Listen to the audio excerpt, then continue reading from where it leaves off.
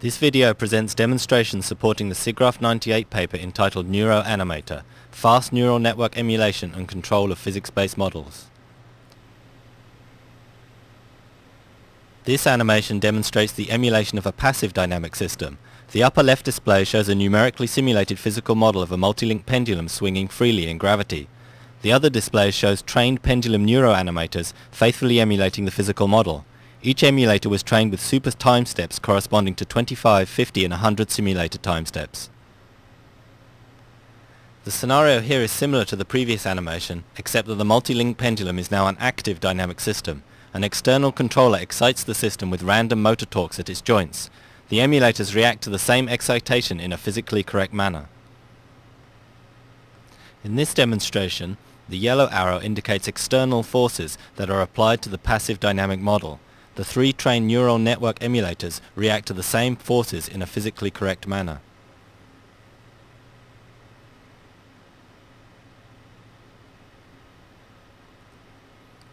This animation shows the physical model of the lunar lander and its emulator responding to the same random control inputs. We show two separate control sequences, each having 8,000 physical simulation steps.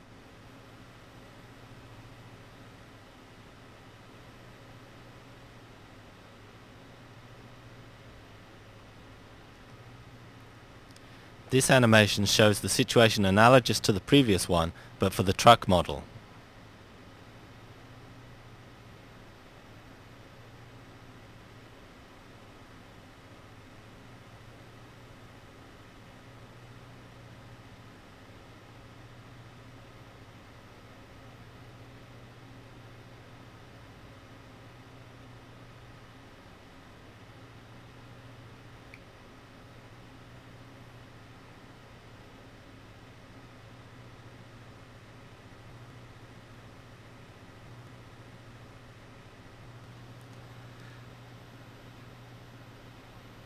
The Far dolphin is animated by simulating a mechanical model actuated by internal muscle actions. The Near dolphin is animated by a neural network that emulates the physical model at much less computational cost. The control inputs to the network, muscle forces, are identical to those for the mechanical model. Note the similarity of the motions.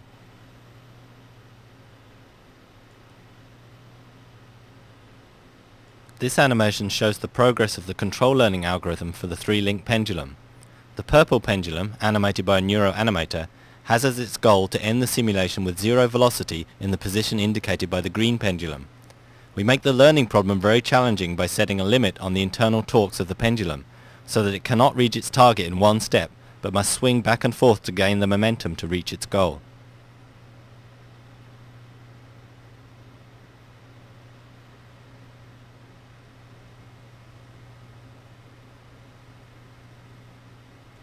This animation illustrates the response of the physical model of the pendulum to the emulator synthesized controller from the previous animation.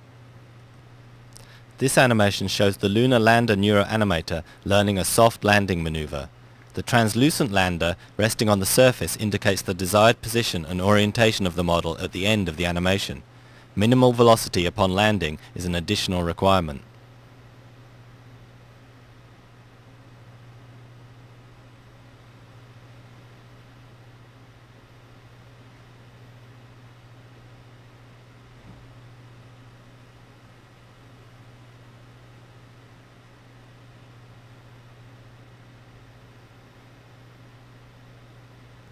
This animation illustrates the response of the physical model of the ship to the emulator synthesized controller from the previous animation. This animation shows the truck neuroanimator learning to park. The translucent truck in the background indicates the desired position and orientation of the model at the end of the simulation.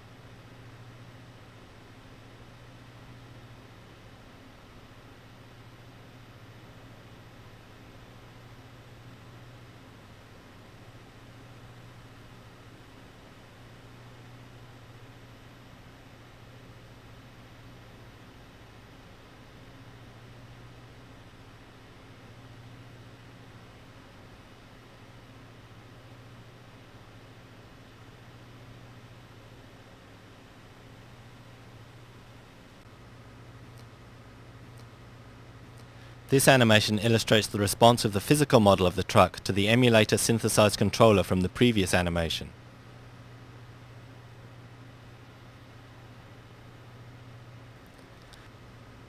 This animation shows the dolphin learning to swim. Its objective is to move as far forward as possible in a fixed time period. Since the NeuroAnimator control learning algorithm uses a strongly directed, gradient-based search to explore the control space, the efficient locomotion pattern can be discovered much more quickly compared to the use of stochastic search techniques.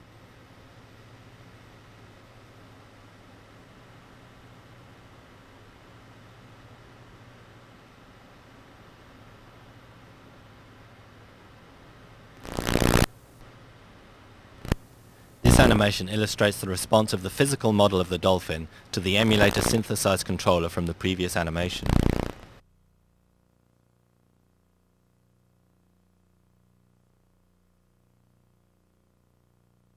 The goal of our work is to support auralization of spatialized sound based on real-time acoustic modeling in interactive virtual environments.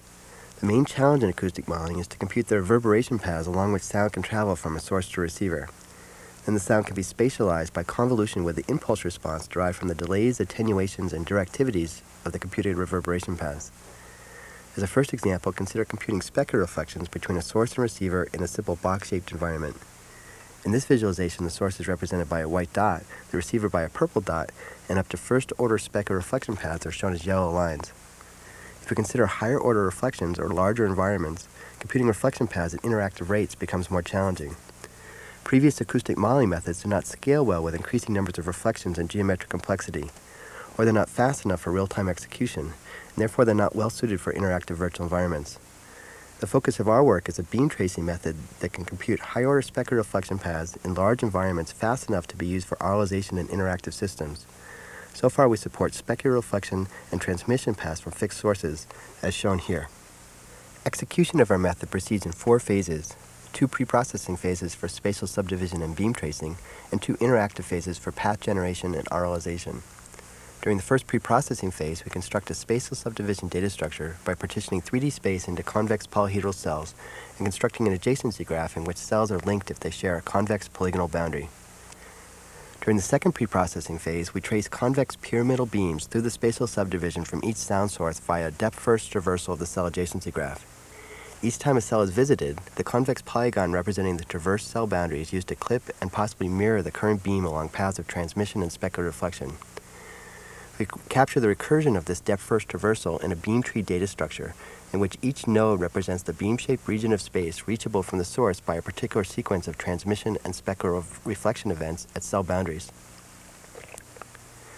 In the third phase, we compute reverberation paths from each source to a receiver point representing a user moving interactively through the virtual environment. Reverberation paths are found via lookup in the pre-computed beam tree by finding the set of beams that contain the receiver points, that is, the ones that are shown here in green. For nodes containing such a beam, we can quickly determine the reverberation paths by looking up the sequence of transmission reflections encoded in the ancestors of the beam tree. In the final phase, we use the computed reverberation paths to construct binaural impulse responses, which encode the amplitudes and delays of signals reaching the ear from each source. We use the impulse responses to auralize anechoic audio signals in real time via software convolution. An advantage of this beam tracing method is that it scales well to support higher reflections in large virtual environments. The spatial subdivision generally scales linearly with global environment complexity, while the beam tracing and path generation computations grow only with local environment complexity. This example shows 8th order specular reflections in an environment with 600 polygons. Here's a city environment with over 1,000 polygons and 4th order specular reflection paths. In this building containing over 1,700 polygons, 8th order specular reflection paths are computed 8 times per second. Another advantage is that our method extends beyond direct propagation, transmission, and specular reflection to model paths of diffraction and diffuse reflection, which we have implemented in 2D so far. In this 2D architectural model, walls are represented by white lines. All possible direct paths from the yellow point are shown in gray. First order specular reflection paths are shown in red, second order, and third order. Transmission paths are green. Diffraction paths are blue around one edge, two edges, and three edges. Finally, first-order diffuse reflection paths are shown in tan. In all cases, the precomputed spatial subdivision enables rapid identification of the small subset of polygons to be considered during generation and intersection of each beam. We have integrated our acoustic modeling method into an interactive system for audiovisual exploration of virtual environments. In the following two sequences, we walk through the building shown here while simultaneously auralizing four audio sources and visualizing color-coded reverberation paths. Alexander Graham Bell was born on March 3, 1847, in Edinburgh, Scotland. It was in 1867, while teaching at Somersetshire College, I'd that like he to tell became you about interested one of my in hobbies.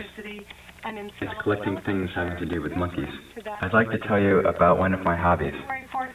It's collecting things having to do with monkeys.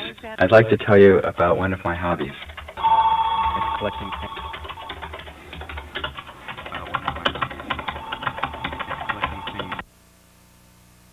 The second sequence shows the same walk from a bird's eye view with a moving view frustum shown in purple. Alexander Graham Bell was born on March 3, 1847, in Edinburgh, Scotland. It was in 1867, while teaching at Somersetshire College, I'd that like he to tell you became about one interested of my in hobbies. electricity It's collecting things having to do with monkeys. I'd like to tell you about one of my hobbies. February 14th. It's collecting things having to do with monkeys. I'd like to tell you about one of my hobbies. It's collecting.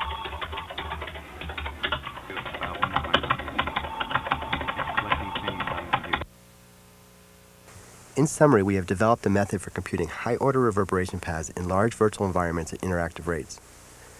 Our primary contributions are a scalable algorithm that traces convex beams through a spatial subdivision from each source along possible reverberation paths, and a beam tree data structure that enables interactive evaluation of reverberation paths to an arbitrary receiver location. We've incorporated these algorithms and data structures into a system that supports real-time auralization and visualization of large virtual environments.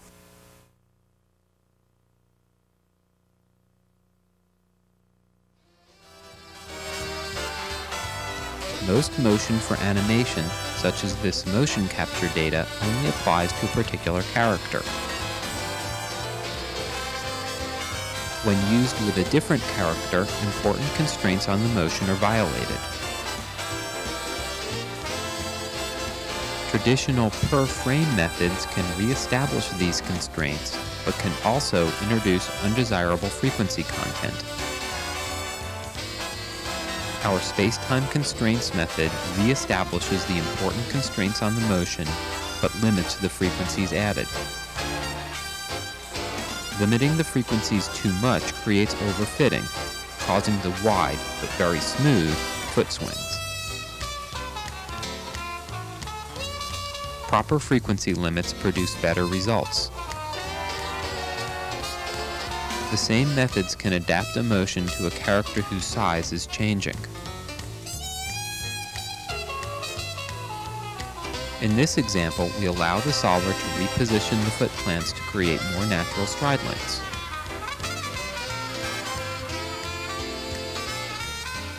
This climbing example includes constraints on both the hands and feet.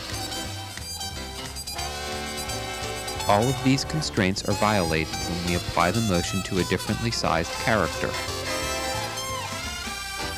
Our method can adapt the motion so the small character can climb the big ladder. We can also adapt the climbing motion when the character is changing size. This example shows ways that our methods fail to achieve acceptable results. The single simple frequency limit for all parameters causes undesirable twitches when different parameters have different needs. Also, the lack of balance and posture constraints can lead to unnatural motions.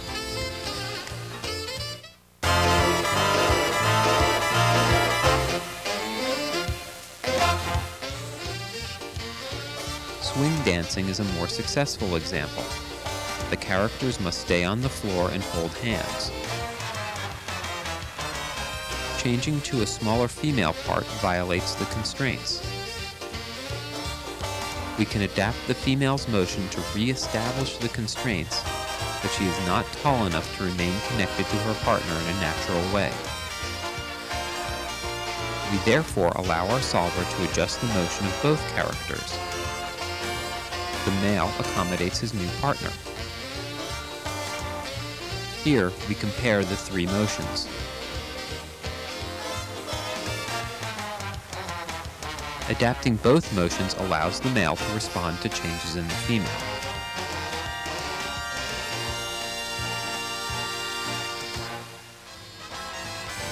Finally, we consider adapting a human skipping motion to a rigid can. First, we adapt the motion to a human with the proportions of the can. Next, we attach this altered motion to corresponding points on the can. Solving computes a motion for the can that mimics the human skipping motion.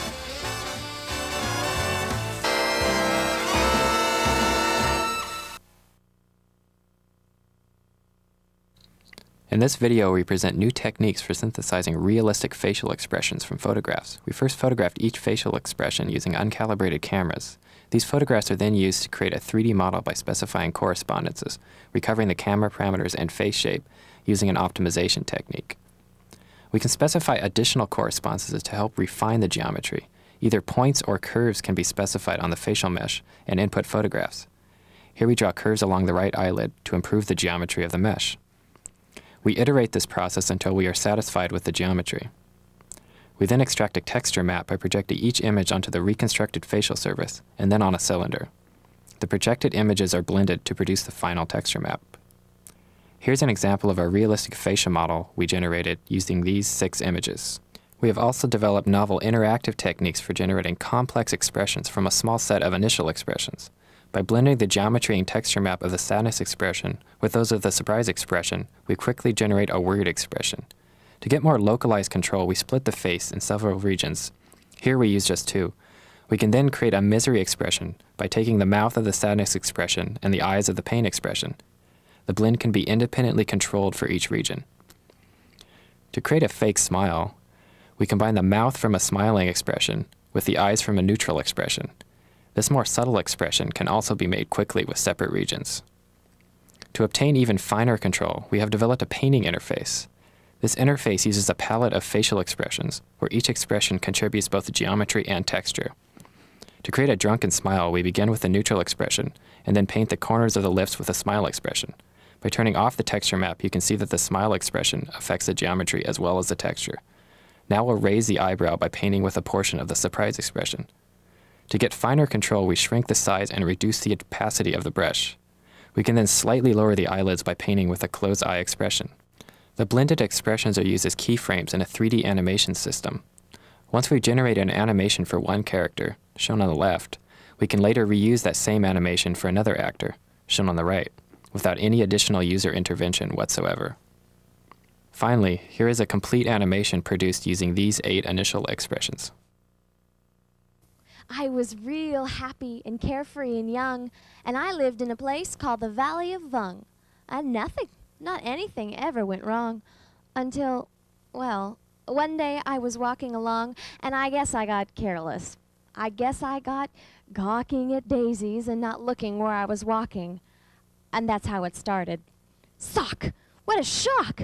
I stubbed my big toe on a very hard rock and I flew through the air, and I went for a sail, and I sprained the main bone in the tip of my tail. Now, I never ever had troubles before, so I said to myself, I don't want any more. If I watch out for rocks with my eyes straight ahead, I'll keep out of trouble forever, I said. But watching ahead, well, it just didn't work. I was watching those rocks, then I felt a hard jerk a very fresh green-headed Quilligan quail sneaked up from in back and went after my tail. And I learned there are troubles of more than one kind. Some come from ahead and some come from behind.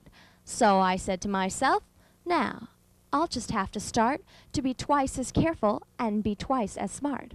I'll watch out for trouble in front and back sections by aiming my eyeballs in different directions.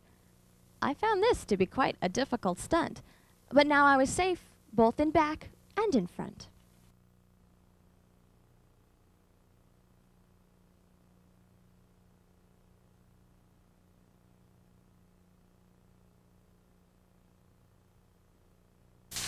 This paper describes how to build smooth parameterizations of triangular meshes of arbitrary connectivity and topology.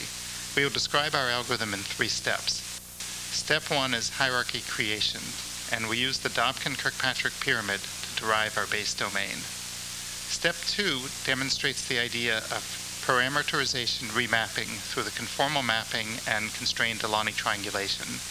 And step three presents a solution to solve the remeshing discontinuity problem. We conclude with an application of our algorithm to the adaptive remeshing of Venus. By combining the feature edges and feature points, the user is able to constrain the base domain to best fit the input mesh. Here we have a fan disk and its feature edges marked. We apply the Dobkin-Kirkpatrick algorithm to remove the maximal independent set vertices. The selection of maximal independent set vertices is based on the local curvature and local area. Thus, vertices at flat regions tend to be removed first, while sharp features will be kept in the coarser mesh. During the simplification procedure, the blue feature edges will be preserved under the constrained Delaunay triangulation. And here is our base domain. In order to compute the final parameterization, we propagate the associated information from the fine level to the coarse level. Here we have the center vertex that we want to remove and its one-ring neighbors. Let's say there are three points associated with each face. By applying the z to the alpha map, its one-ring neighbors, together with the three points, are projected onto a 2D plane according to their barycentric coordinates. We will then be able to perform constrained Delaunay triangulation on the 2D plane, and we can recompute the barycentric coordinates of the center point, the three points on each of the deleted faces, with respect to the new faces.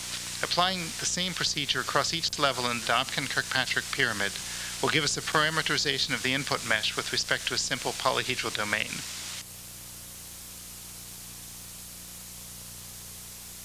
To remesh an input mesh with subdivision connectivity, we do a 1 to 4 split on each of the faces. The left remeshed fan disk is without smoothing. As we can see, it has the problem of discontinuity across the boundaries. To solve the problem, we define another mapping from the base domain to itself using the Loop stencil in the parameter space. Thus, the dyadic points will be smoothed out before we apply the inverse mapping. The details are in the paper. The remesh looks nice and smooth.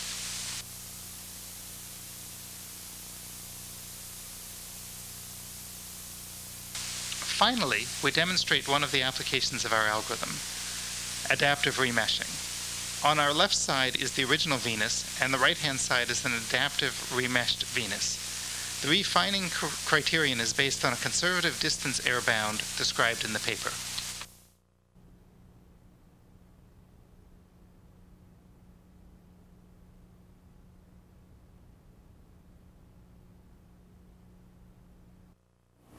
Before presenting the details of our mesh modeling metaphor, we explained the general procedure of a sample mesh modeling session.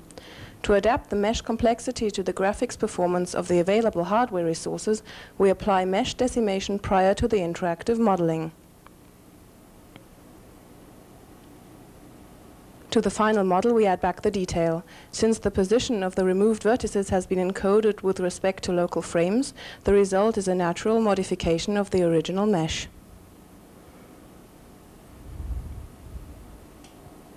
Without caring about the underlying connectivity of the triangle mesh, the designer selects the support of the current modification by picking a sequence of points on the surface. The curve interpolating these points defines the boundary conditions for the edit. Another polygon is picked to specify the handle geometry. Handle plus boundary provide the means to define the modification characteristics since, when moving the handle, the surface will follow according to online bending energy minimization.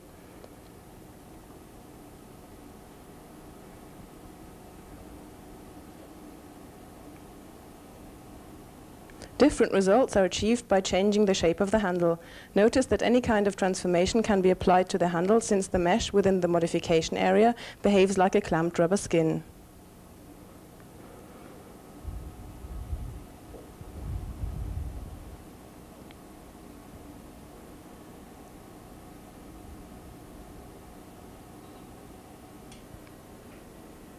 The constrained energy minimization, which controls the edit, requires the solution of a global sparse linear system. Plain Gauss-Seidel iterations do not converge fast enough due to the special eigenstructure of the corresponding iteration matrix. Adapting multigrid methods known from numerical analysis accelerates the computation so that several frames per second are achieved for moderately complex meshes.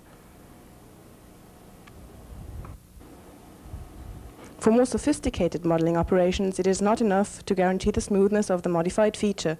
Additionally, we want to preserve the structural detail. Our mesh modeling tool enables us to apply global deformations while preserving the detail information. Again, the designer defines the boundary of the area to be modified. In our case, we want to perform some lifting of the bust's face. For reasons of symmetry, we placed the handle around the nose. This gives us an intuitive and flexible interface for modifications.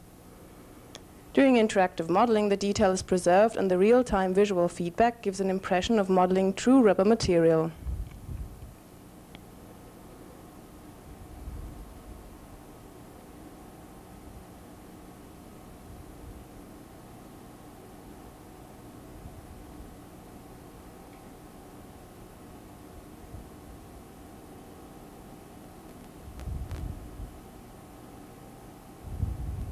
Since we do not have to bother with scalar-valued basis functions, even complicated edits like scaling the nose lead to feasible modification of the detail features. Due to the underlying energy minimization, such transformations do not have to be handled differently from other interactions. Applying mesh decimation to the modification area provides a hierarchy of meshes with decreasing complexity. These meshes play the role of the different grids in a V-cycle multi-grid solving scheme.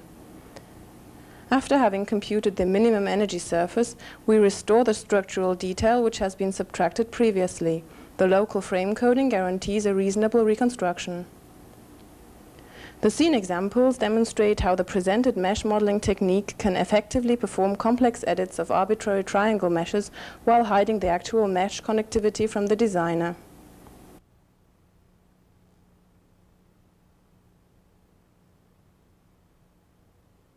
Algorithms to simplify complex polygonal models, like this bumpy torus model, are becoming fairly commonplace.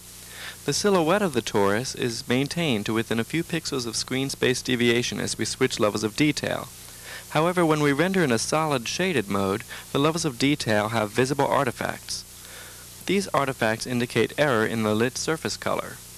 We will show how to use texture maps and normal maps along with error bounds on texture coordinate deviation to better preserve the overall appearance of the model. Let's begin with a look at the preservation of surface colors.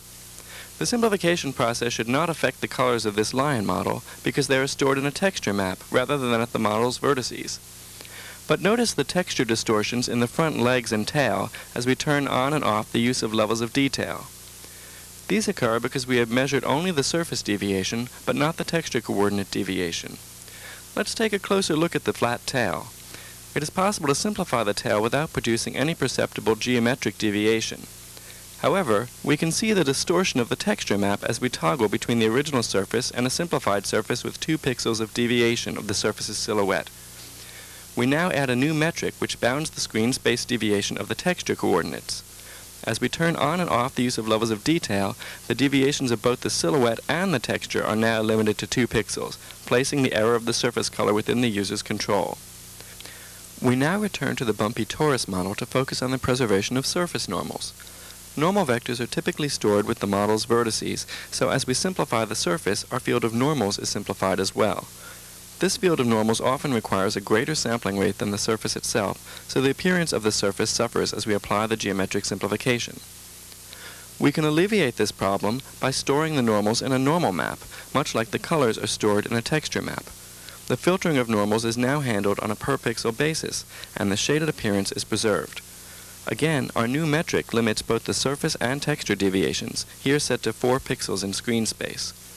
Normal maps are currently only available in certain prototype machines, such as PixelFlow, but they are likely to become available on commercial hardware in the next several years.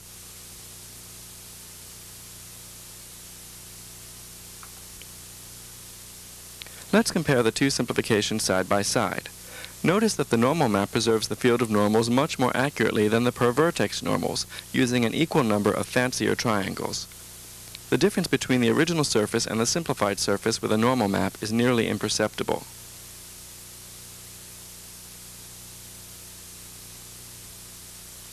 Finally, we see a split-screen comparison of the complex armadillo model.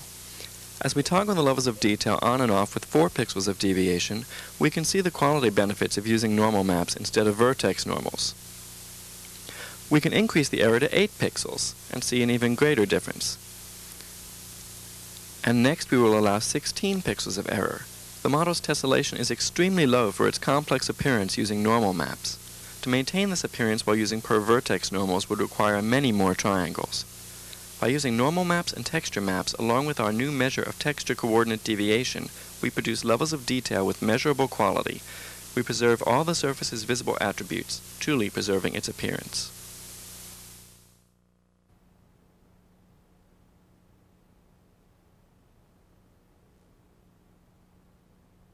The PixelFlow graphics system is capable of performing procedural shading at interactive rates of 30 frames per second. In this video, we will show live recordings of PixelFlow running several shaders written in our shading language, PFMan. Here we are using a shader exploration program to demonstrate a brick shader. We can manipulate the appearance parameters of the shader interactively to create just the look we want.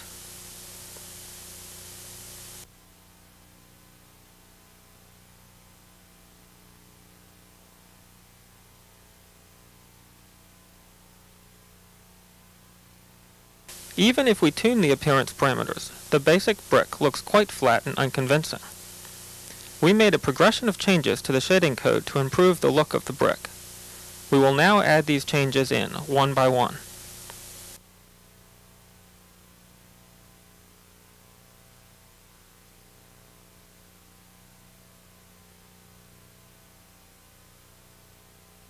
First we add some noise to simulate graininess in the bricks and mortar.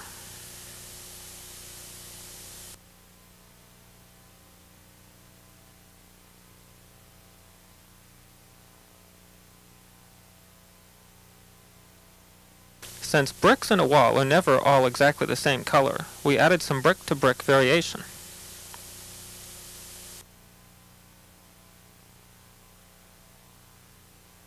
Finally, we add some color variation across each brick. We adjust the scale of these variations to taste.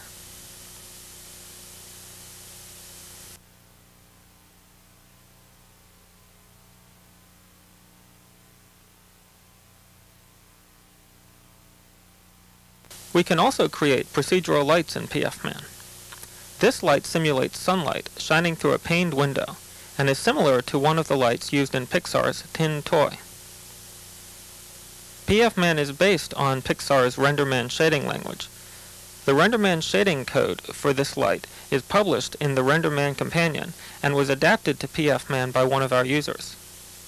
This highlights one of the advantages of using a high-level shading language, its shaders are independent of the hardware or software rendering system.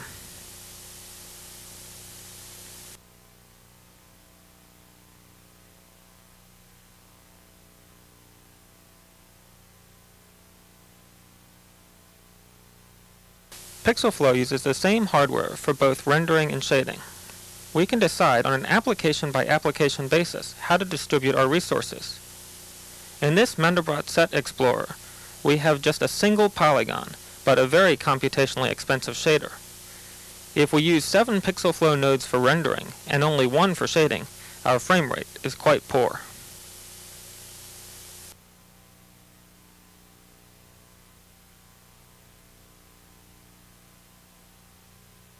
If instead we use only one PixelFlow node for rendering and 7 for shading, our performance is much better.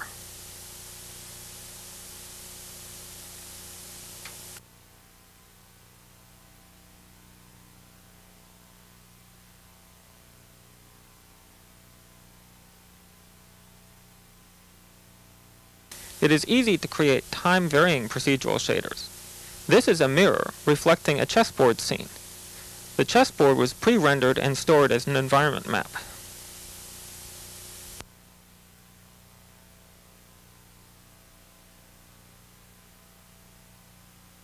By adding a procedural bump map to our mirror shader, we can create water-like ripples across the surface of the mirror.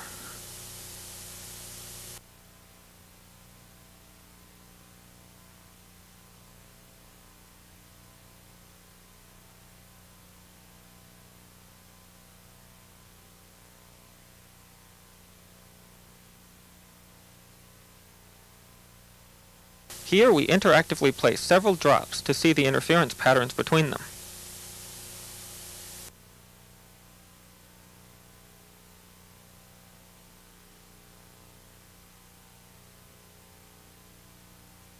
Procedural techniques, such as those we've demonstrated, are made possible not only by fast hardware, but also by a number of optimizations described in the paper. We believe that procedural shading and lighting add a valuable tool for interactive graphics.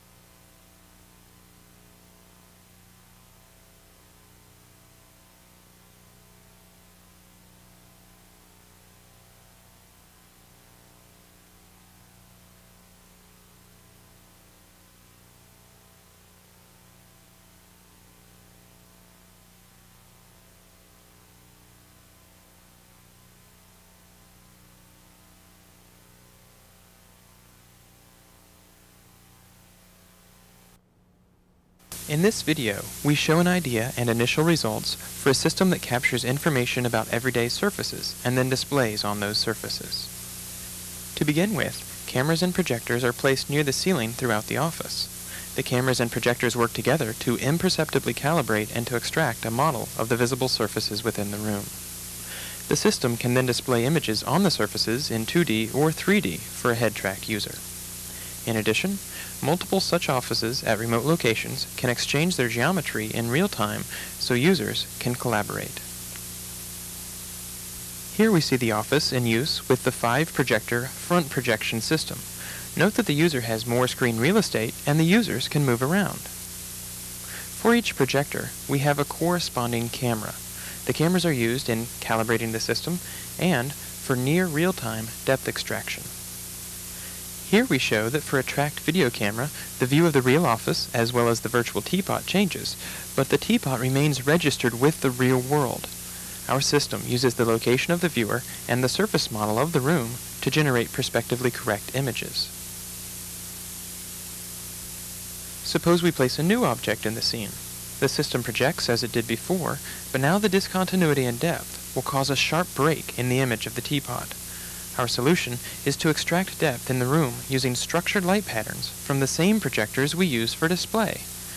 After correcting for new depth values, the teapot will once again be displayed seamlessly, even across discontinuities in depth. In this segment, we demonstrate intensity blending. For a static viewer, we can blend images from multiple projectors to create a single seamless display.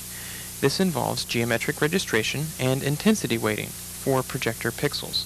The result is that the two images are merged together seamlessly. Here, we turn one of the projectors off and then on again to highlight its contribution to the overall panorama. Finally, we move an occluder through the blended overlap region of two projectors to highlight each projector's contribution in that region. When we add a curved display surface, the projected image appears warped and also has intensity mismatches. We correct for these problems using structured light to perform depth extraction. Then, we can compute pre-warp functions and correct intensity weighting on a per pixel basis. The resulting projected image appears geometrically correct to a stationary viewer, and due to intensity matching, it is seamless across the panorama. To see how our system works, first consider the case of conventional computer graphics. A three-dimensional object is projected down onto the flat view. As the user changes location, the view of the object changes as well. For our case, however, we must project onto a more complicated display, namely the room. Here we see the user viewing the teapot on a complicated surface of walls and a desk. Each projector covers only a small part of the entire display. A single projector's viewpoint is highlighted now in blue. For the first pass of our algorithm, we compute the desired viewer image with conventional computer graphics. That result, shown here, is then used as an OpenGL projective texture. In the second pass, the result of the first pass is effectively projected onto the display surface model. We then re-render the scene from the projector's viewpoint. That image, when displayed by the projector, will form the correct view for the user. Finally, we use structured light to create image-based models of human faces or display surfaces with multiple updates per second. The difficult problem of finding correspondences is reduced by projecting binary coded vertical bars of light. This method simplifies depth extraction considerably. We aim to drive digital micromirror displays so fast that the structured light patterns are imperceptible to the human eye. The crucial benefit of imperceptibility is that we can interweave display and depth extraction. This will allow dynamic, real-time updates of the room geometry. In our paper, we present more details of our vision and our results. We believe the merger of real-time depth extraction with a spatially immersive display will prove to be a powerful tool for working alone on everyday tasks or in collaboration with others.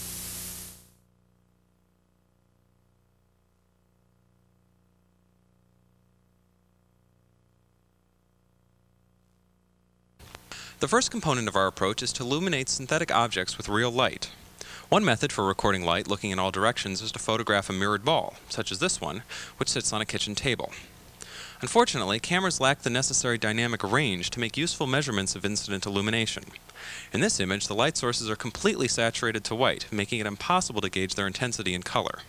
We can recover accurate measurements of incident illumination using the high dynamic range photography technique presented by Debevec and Malik at SIGGRAPH 97. Using this technique, we can combine pictures with varying exposure times into a single representation that accurately records the intensity, color, and direction of all forms of direct and indirect illumination. Once the incident illumination is recorded, it can be used to illuminate synthetic objects with a global illumination algorithm, such as Greg Larson's radiance system. This rendering shows a collection of objects with a wide variety of material properties illuminated by the light from the kitchen. The objects properly reflect each other and exhibit the appropriate soft shadows, reflections, and caustics. Using a different map of incident illumination gives a different quality of light to the objects. This illumination, shown in the upper left, was acquired on an overcast day beneath an outdoor trellis. We can construct a simple light-based model of the kitchen by projecting the recovered radiance values onto a geometric model of the room. This allows us to place the synthetic objects into the same space as the original environment. In this animation, we see the synthetic objects placed within and illuminated by the light-based model of the kitchen environment. While the light-based model is low resolution and suffers from uneven sampling, we can begin to sense the objects existing within the same space as the kitchen. Here we can observe the same objects illuminated by the overcast outdoor environment. This next animation shows a different series of objects illuminated by the kitchen environment. Here, the high dynamic range nature of the renderings is accentuated for visual effect through a combination of duotone mapping, image defocus, and artificial vignetting. This last animation shows a collection of synthetic objects rendered with light recorded at the eucalyptus grove on the UC Berkeley campus. The environment used was created from two light probe measurements taken 90 degrees apart to provide even sampling and to remove the appearance of the camera. To be fully general, it is necessary to not just illuminate the synthetic objects with the appropriate light, but to have the objects cast the appropriate shadows and reflections in the scene. Suppose, for example, that we wanted to render our synthetic objects onto this background plate photograph of a table. We first use a calibration target to record the camera pose relative to the scene and acquire a light probe measurement in the vicinity of where the synthetic objects will go. As before, we use a simple light-based model of the environment to extrapolate incident illumination conditions. The camera pose and lighting information allow us to render the objects into the scene with the correct perspective and illumination. In order to cast reflections and shadows on the scene, a stand-in for the local scene of the objects is created. In this case, the local scene is a rectangular patch of the table. Methods discussed in the paper were used to estimate the local scene's material properties. Unfortunately, the local scene is not a convincing rendition of the table. Because both its material properties and incident illumination are only estimates, its appearance is not consistent with the distant scene. We can improve the consistency using differential rendering. In differential rendering, we first render the local scene, illuminated by the light-based model, without the synthetic objects. We compare this appearance to the previous rendering to isolate the effect of adding the objects, creating a difference image. Dark areas in the difference image indicate where the objects create shadows, and bright areas indicate where the objects create reflected or focused light. Finally, we use this difference image to modify the background plate. In this case, the result is visually consistent with the existing background, despite the approximated material properties and incident illumination of the local scene.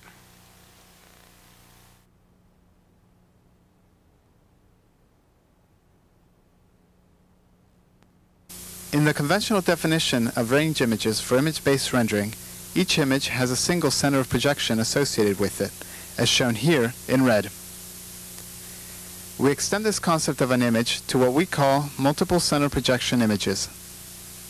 A multiple center projection image consists of a single bitmap, but one whose pixels were not all acquired from the same viewpoint. Instead of a single camera, we have a sequence of cameras lying on either a curve or a surface.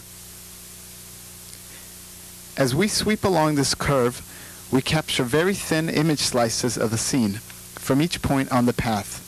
These slices are concatenated into the final image buffer shown above. The image on top is our new multiple center of projection image.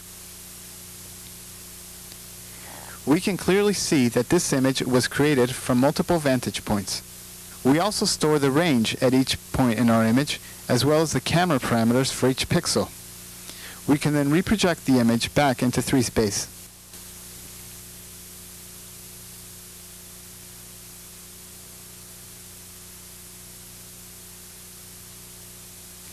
Since we know adjacent points in our image were captured by adjacent cameras, we can also connect them with triangles. This would be difficult to do with an unorganized set of points.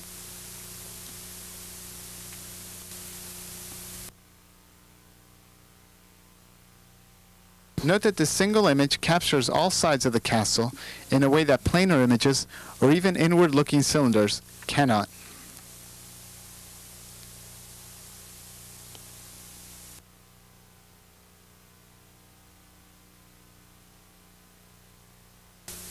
Here's another model.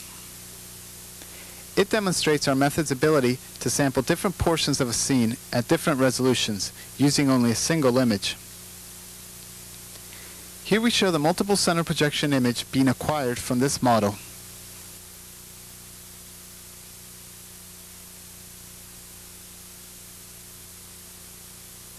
And now we reproject.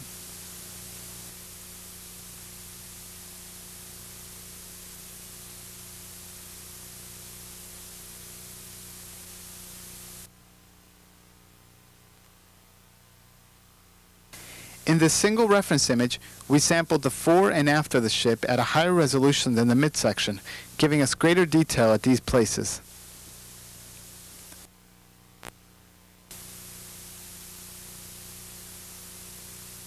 We also sampled the flag at the rear of the ship at a very high resolution, allowing an extreme close-up of this small portion of the dataset.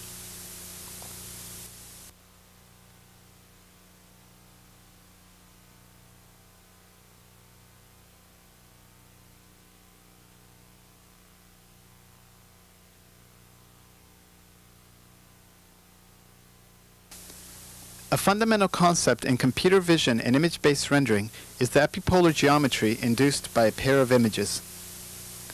For two conventional images, A and B, the epipolar image of A in B is the image of rays from camera A as seen by camera B. Given a three-space point imaged by A, we know that if that point is also seen by the second image, then it must lie along the projection of the corresponding ray from the first image.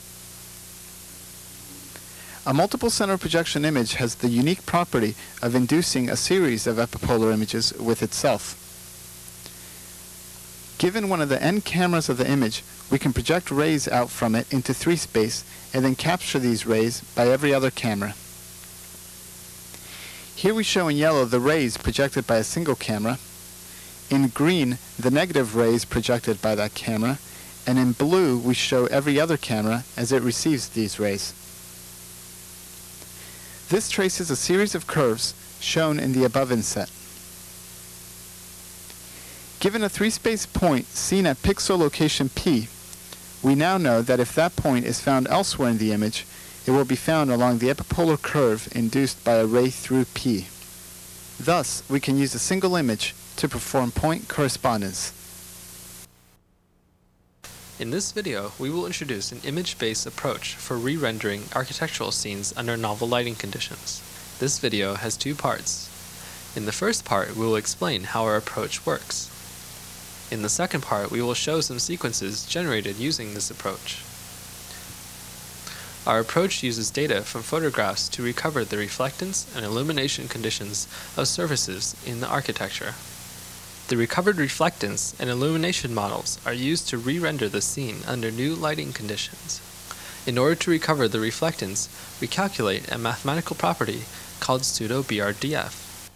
We model the sun as a parallel light source. To model the rest of the illumination, we use a sky radiance model and a landscape radiance model. To recover a sky radiance model, we need to take multiple photographs of the sky, including the zenith and the part of the sky near the horizon. Since there may be occluding objects in the sky photographs, we interactively choose some sky regions from each photograph. A sky model can then be recovered by a least square procedure. In most of the regions, the data fitting error is within 5%.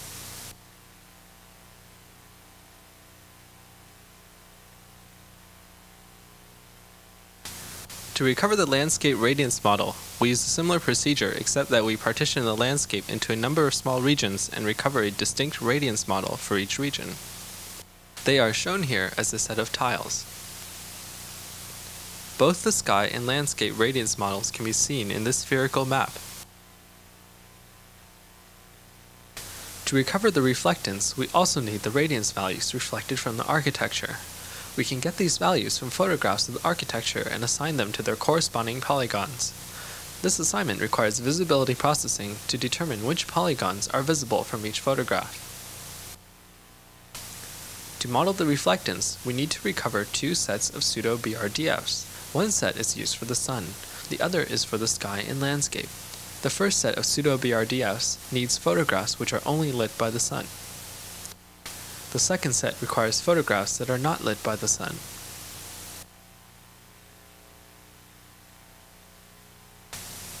We recovered diffuse and specular pseudo-BRDFs separately. For most of the architectures, reflection is dominated by a diffuse component. In order to capture its spatial variation, we set up a dense grid on each face in the geometric model and recovered diffuse pseudo-BRDFs at each grid point. In order to produce novel lighting conditions, we interpolate previously recovered illumination models. We will now show four sets of sequences generated using our approach. This sequence compares the actual photographs with our synthetic images. The synthetic images are on the left, while the actual photographs are on the right. This sequence shows the architecture at two different times on a sunny day from various viewpoints.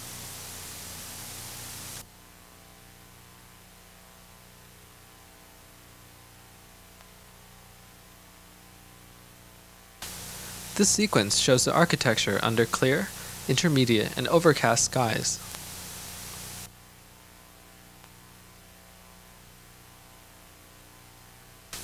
This sequence shows the architecture at various times of a sunny day near the end of August.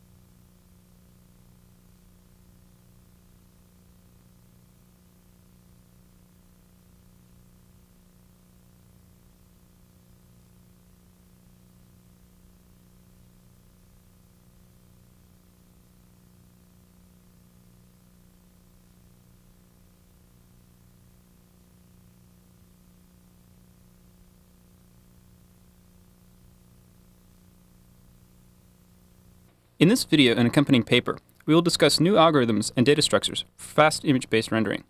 In particular, we will show how to quickly render sprites containing depth information at each pixel.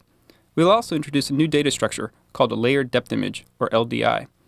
What you see now are frames rendering in real time from a PC using no specialized graphics hardware from a single layered depth image. Before explaining the LDI structure, we will begin with a discussion of sprites derived from real photographic images. The images you see here are 5 out of 40 that were taken simultaneously with a specialized multi-lens camera developed by Dayton Taylor. The sprites and their associated plane equations were extracted from the five source images using a layered motion estimation technique. The black areas of the sprites are the result of occlusions. Now, we're going to render the sprites in 3D. Each sprite represents a plane in 3D, and you can see the parallax between the layers of sprites. You are now looking at a simple sprite with a checkerboard texture. Rotating the sprite, you can see that it is planar. Given a depth value associated with each pixel, and using the rendering method discussed in the paper, you can see the hemisphere in the plane pop out. The illusion for a smooth object like this is convincing, and barely slows down the rendering. Here is the first demonstration of layered depth images. In this scene, we have pre-rendered 20 depth images with cameras that encircle the chicken. As we move the camera around, the three closest depth images to our viewpoint are chosen and warped into a single layered depth image that is then rendered to the screen. This is implemented as two threads on a multiprocessor, one thread creating the LDIs from the depth images and the other rendering images from the current LDI. As we move around, you'll see bits of the scene pop into view. This happens when we have moved enough that a new input image is added to the LDI being rendered. When we dolly in towards the chicken, you can see the splats separate. This happens because we used a maximum splat size of 5 pixels square, and adjacent samples of the chicken surface have spread apart more than 5 pixels. Another way of constructing a layered depth image is to use photographs of real-world objects. This toy dinosaur was constructed from computer vision techniques that compute pixel correspondences to directly fill an LDI data structure. This LDI has 58,000 depth pixels. You can notice a wave running through the picture, this is due to the fact that there are no normals for this data set, so the splat size calculation is dependent solely on distance. Here's a layer depth image constructed using a ray tracer. We can pan back and forth and change the focal length of the camera, just like in a system such as QuickTime VR. However, since we store a depth per pixel, we can also translate the camera, and you can see there's a great deal of parallax induced by the camera motion. This is simply a depth image, or a layered depth image with only one layer. So, you can see lots of holes in the tree due to occlusions. As the camera is dollied toward the tree, the three-dimensional structure of the LDI is very apparent. Here is the same tree. It is a more densely sampled LDI, having 800,000 depth pixels. We can dolly into the tree and look around. Even though the splats have gotten large, the sense of the shape of the tree and the illusion of immersion are still very good. It is interesting to selectively disable the two segments of the LDI. Here, we have disabled the front segment and can see the inside of the tree from a distance. Now, if we enable the front segment and disable the back segment, we see just the leaves, and the rendering is much faster. Lastly, we show the accurate tree again with an environment map of the terrain near Mount St. Helens. The environment map can be rendered in software very quickly, at 25 to 30 frames per second, so we get it essentially for free. Sprites with depth and layered depth images provide an effective and efficient means to leverage captured images and complex rendered environments without the need for expensive dedicated graphics hardware.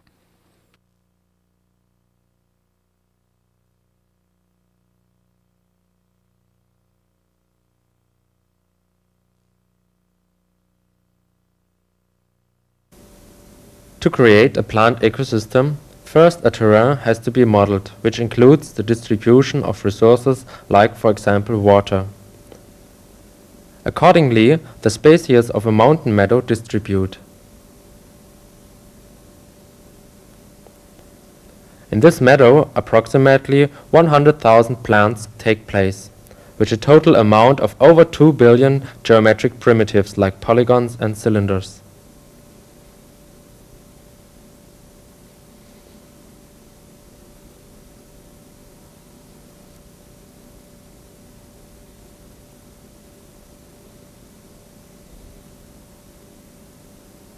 Now we show how plants of this scene were modeled by using our interactive plant modeler XFrog.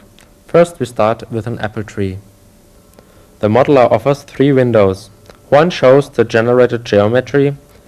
Here the structural description is edited and this window is used for animating models.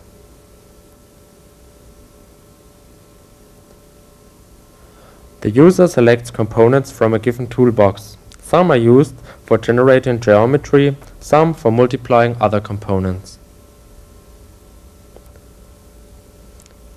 In this case, a tree component is used and combined with the camera symbol. The resulting geometry is a generalized cylinder. Another component is selected and combined with the first one by using a branching link. This results in a first tree model.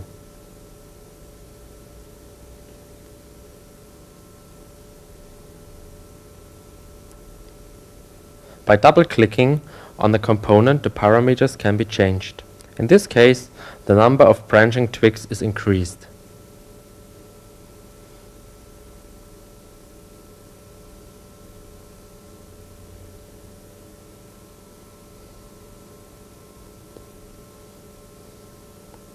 The component offers various other parameters which trigger for example the branching angle, the distribution of branches, or the amount of gravitropism applied to the twigs.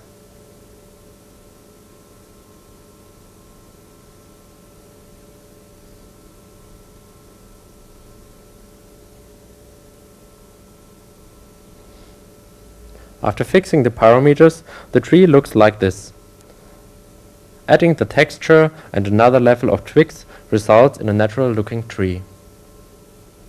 Finally, the leaves are added. Similarly, the stinging nettle is generated. In this case, 12 components are used.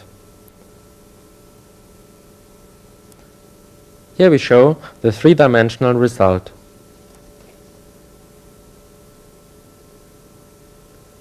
Now the population is distributed by using this grayscale image as described in the paper.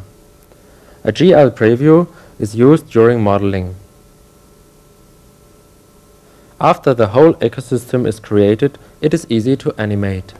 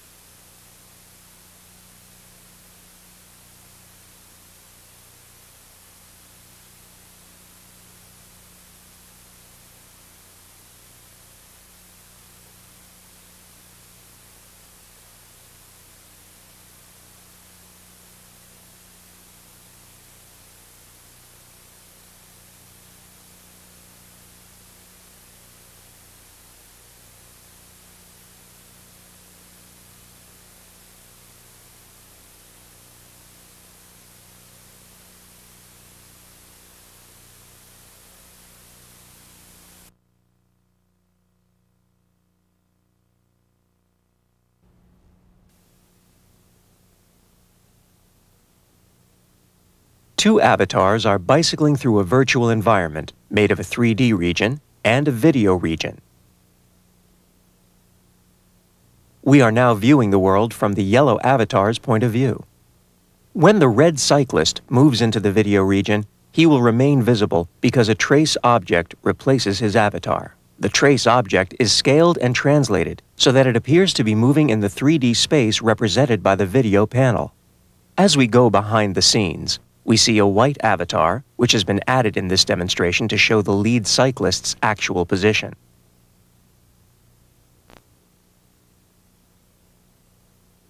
From the yellow avatar's point of view, the red cyclist's representation changes seamlessly between a trace object and an avatar.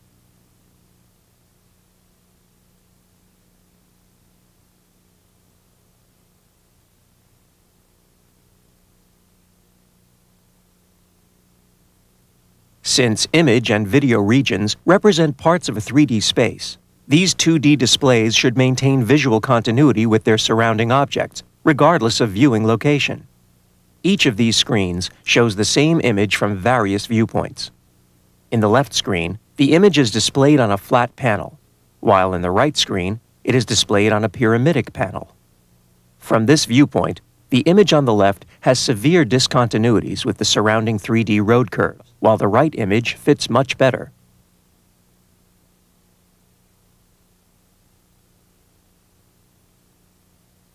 This new view emphasizes discontinuities between the left image's horizon and its surrounding model. Again, the right image maintains continuity. As our viewpoint approaches the panels, we see an unintelligible collection of pixels in the left image, but retain our sense of space in the right image. When we look to the side, the image on the right retains its continuity with the surrounding 3D objects. As we move far forward, our viewpoint goes through the flat panel, but the pyramidic panel accommodates this viewpoint.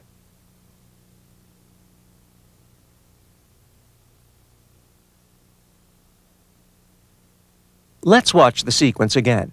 This time, two screens have been added to give us behind-the-scenes views of the flat and pyramidic panels, showing how they respond to camera movements.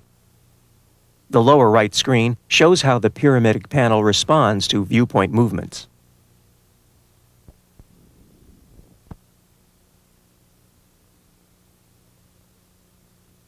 Notice that the apex of the pyramid maintains a fixed distance from the camera.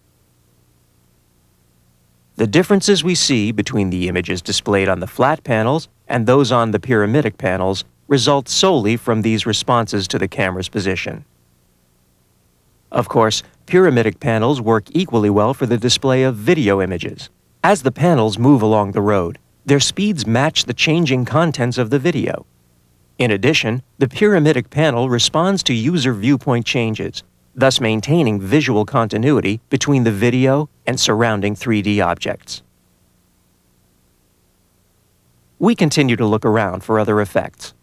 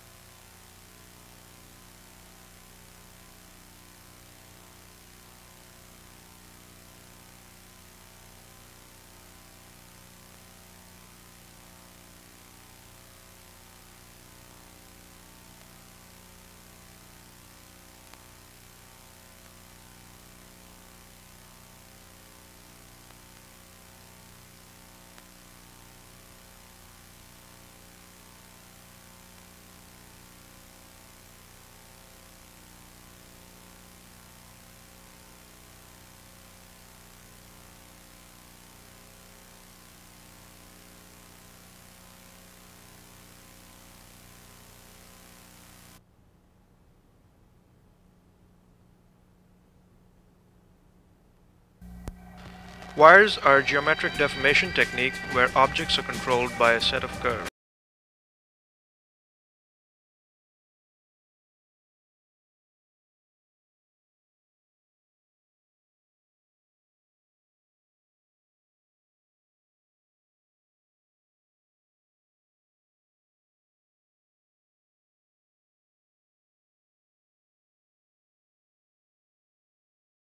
Curves as we reshape the wires and how deformation from multiple wires integrate in a seamless and controlled manner.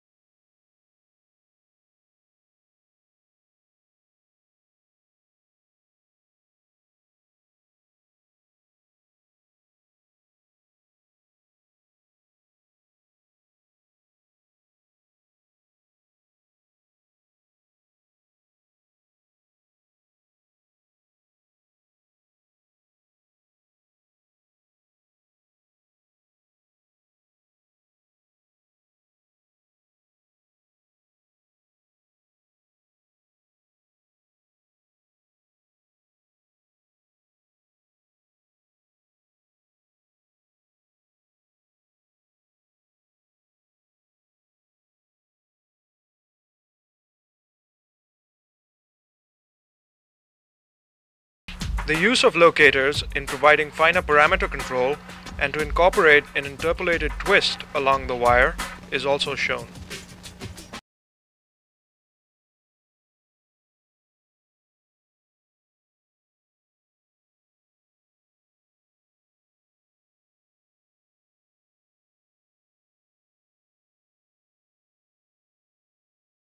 like behavior. Note the rubber band-like behavior on increasing flexibility and the volume preservation that results by using the length of the skeleton to control the wire scale parameter.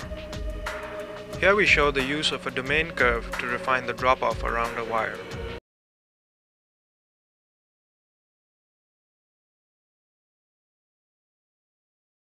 Smooth integration of deformation from multiple wire curves is shown here. Note the spike in the middle as we blend into a simple superposition of the individual deformations. The use of the exponent m to adjust the tension on the surface in the region where the wires interact can also be seen.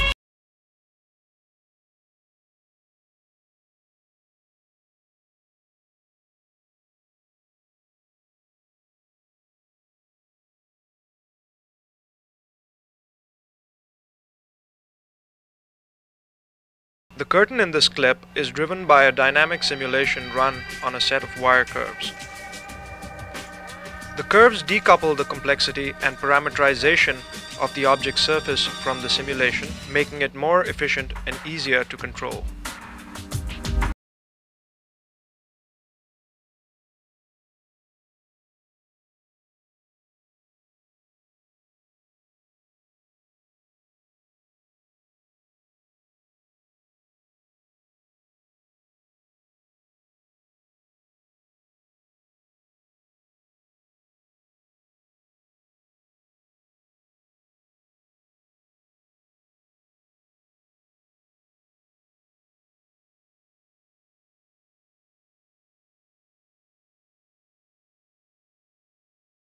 Wire technique is an integral part of the 3D modeling and animation system Maya.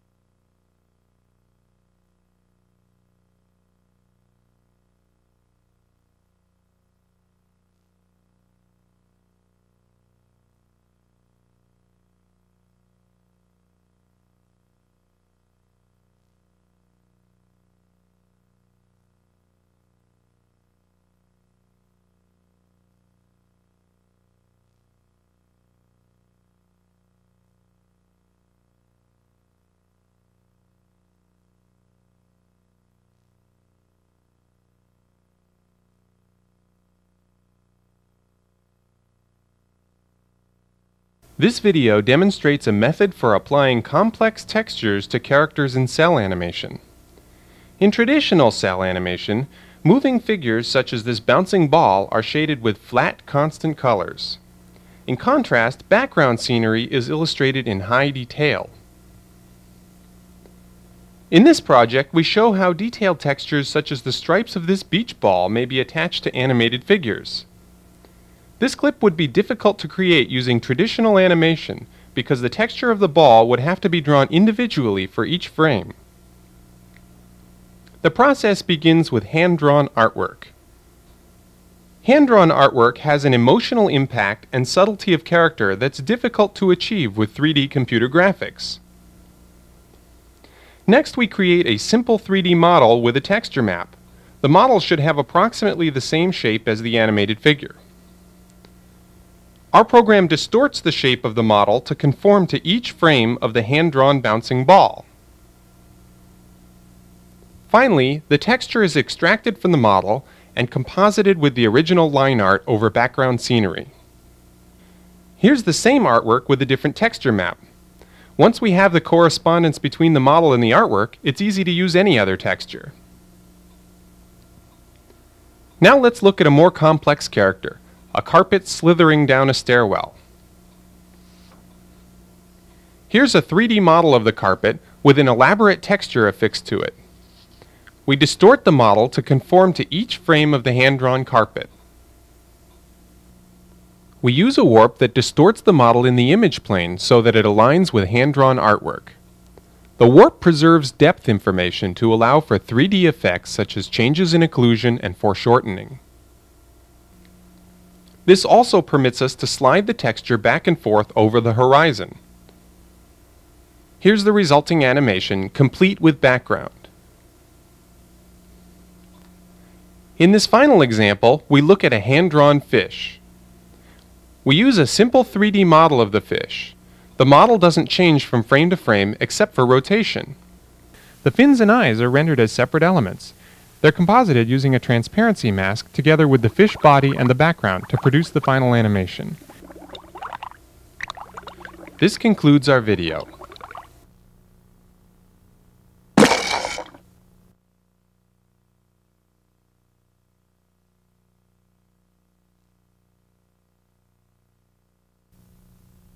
We demonstrate a new technique for painting from a photograph. A painting is built up in a series of layers.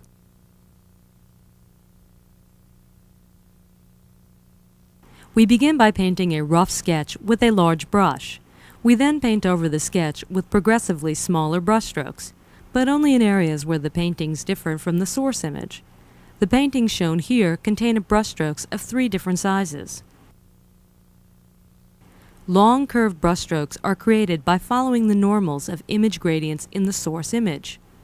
Please see the paper for details of the painting algorithm. The algorithm contains several parameters that determine the appearance of the painting. By changing the value of these parameters, we produce different styles of painting.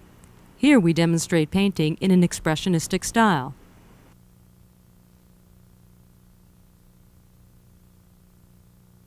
These painting styles have a consistent appearance when applied to different source images.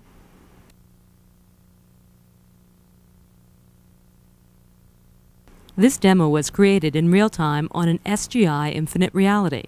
This demo was written in C++ and OpenGL and takes advantage of Z buffering hardware.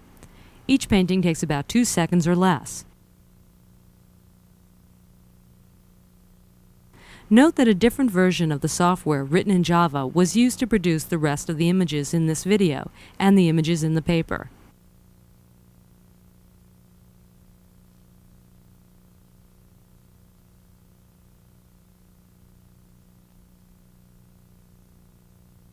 We now show paintings in continuously varying rendering styles.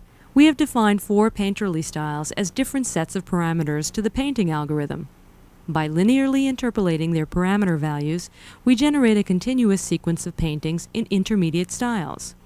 Here the image begins as impressionistic, and then slowly becomes expressionistic, colorist wash, pointillist, and then impressionistic again. Each frame in this sequence was rendered independently No attempt was made to produce temporal coherence. We now show video sequences processed in an impressionistic style. These video sequences were first captured with a Hi8 video camera at locations around New York's Times Square and in the East Village. This movie is shown at the normal video rate, 30 frames per second. One method for painting video sequences is to process each video frame separately. However, this process produces a distracting flickering effect. To reduce this effect and to improve temporal coherence, we begin each frame by painting over the last frame of the animation, rather than starting with a blank canvas each time.